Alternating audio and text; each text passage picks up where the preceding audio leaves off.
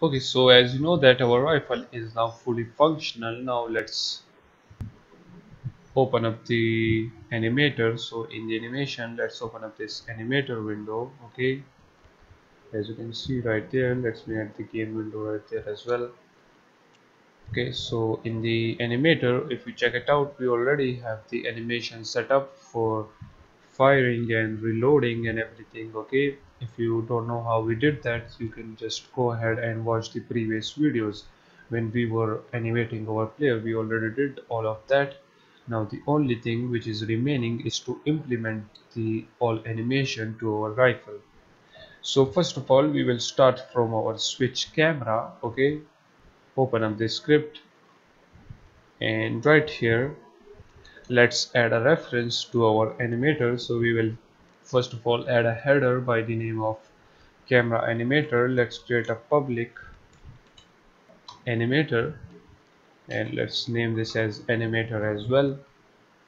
Then down below right here when we are aiming and walking then we want to play some specific animation. So first of all we will say that animator dot set bool and what we want to do we want to set the idle to false okay?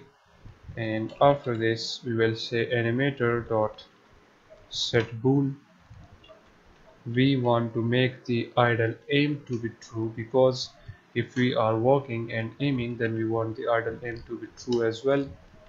And after that we will say animator dot set bool and we want the aim walk to be true. And also if we are aiming and walking then we want the walk to be true as well.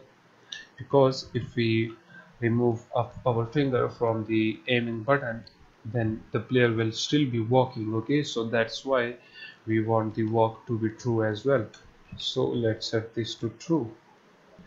And let me show you these parameters right here. If we check our animator okay here is the idle idle aim walk fire fire walk and reloading okay. We already have set that in the previous video so just you can go ahead and watch that video.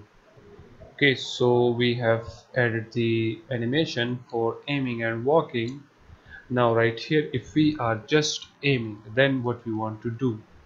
Let's just actually copy these animations okay and paste it down below. Let's move this one. And the when we are aiming we of course want the idle to be false.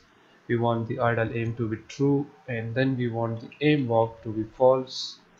And we want the walk to be false as well because we are just aiming and after this in the else block if we are not aiming not nor walking then what we want to do? So just copy and paste it again. And right here we will this time set the idle to true. And this other thing the idle aim and the aim walk will be set to false. And let's remove the walk from there. That's it